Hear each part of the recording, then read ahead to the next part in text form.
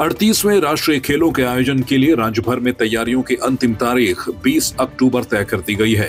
रविवार को विशेष प्रमुख सचिव अमित सिन्हा ने महाराणा प्रताप स्पोर्ट्स कॉलेज में अंतर्राष्ट्रीय स्तर की शूटिंग रेंज के शेष कामों को भी तय समय में पूरे करने के निर्देश दिए। सभी तैयारियों की हर घंटे कार्य प्रगति की रिपोर्ट भी ली जा रही है। स्पोर्ट्स कॉलेज में इस शूटिंग रेंज को बहुत पहले तैयार हो जाना था, लेकिन मई जून में लोकसभा चुनाव का कार्यालय खुलने और अन्य वजहों से देरी होती गई। अब राष्ट्रीय खेलों की तारीख तय होने के साथ कॉलेज में तैयारियाँ अंतिम दौर में हैं। मुख्यमंत्री पुष्कर सिंह धामी ने प्रदेश भर की सड़कों को गड्ढा मुक्त करने का आदेश जारी कर दिए हैं। इसके बावजूद भी सड़कों में जगह जगह गड्ढे दिखाई दे रहे हैं। श्रीनगर नगर निगम क्षेत्र में डांग गाँव को जोड़ने वाली सड़क पर सालों से गड्ढे बने हुए हैं, जिससे आए दिन लोग इस मार्ग पर चोटिल होते रहते हैं। ऐसे में भारतीय सेना में मेजर के पद पर तैनात दिग्विजय सिंह खुद मार्ग पर गड्ढे भरने के लिए आ गए हैं। और सड़क के गड्ढे पाटने में जुटे। कीर्ति चक्र विजेता मेजर दिग्विजय सिंह इन दिनों छुट्टियों पर घर आए हुए हैं, लेकिन उनके मोहल्ले को जाने वाली सड़क पर जगह जगह गड्ढे बने हुए थे, जो हादसों को दावत दे रही हैं। ऐसे में मेजर दिग्विजय सिंह गड्ढों को भरने के लिए खुद आगे आए और अपने संसाधनों से मार्ग के गड्ढों को भरवाया।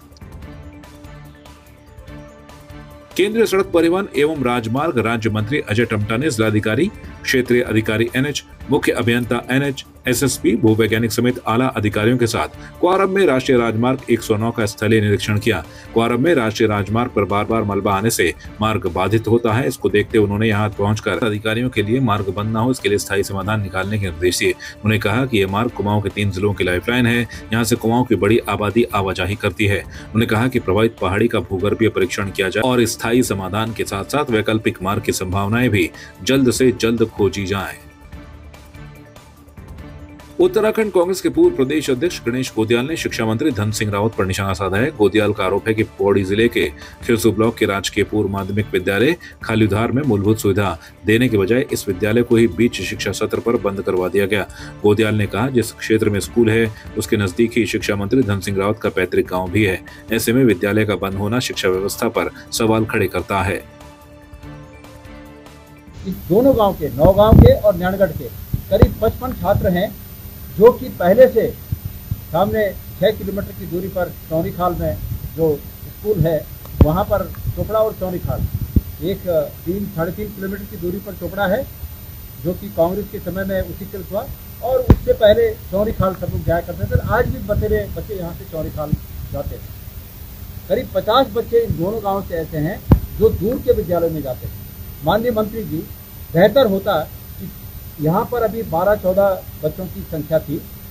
बेहतर होता कि आप इस स्कूल का उच्चीकरण करते, इसको हाई स्कूल करते, आगे चलकर इसको भी और उसका उच्चीकरण करते। बेहतर ये होता, बजाय इसके कि आपने ये चुना कि यहाँ पानी पहुँचाने से बेहतर है, इसका उच्चीकरण करने से बेहतर है, इसको बंद कर दिया जाए। ये बड़े अफसोस की बात है। जिस प्रदेश के मंत्री पर, पूरे प्रदेश के शिक्षा का भार हो, वो शिक्षा के उन्नयन के लिए अपने ही गाँव के एक स्कूल को बंद कर दें, ये इस लोकतंत्र में कालिफ के रूप में अंकित होगा। इसलिए अभी भी अगर मंत्री जी तक ये बात पहुँचे और सूबे के मुख्यमंत्री जी तक ये बात पहुँचे तो मैं उम्मीद करता हूँ कि इस विद्यालय पर ये लगा हुआ ताला ये दोबारा खुल सके। आपकी इस पर क्या राय है, हमें कमेंट कर कर ज़रूर बताएँ। इसके साथ ही आप हमारे यूट्यूब चैनल को सब्सक्राइब कीजिए। आप हमें फेसबुक इंस्टाग्राम ट्विटर पर फॉलो भी कर सकते हैं। और संवाद 365 के साथ एक क्लिक में जुड़ने के लिए डाउनलोड कीजिए संवाद 365 ऐप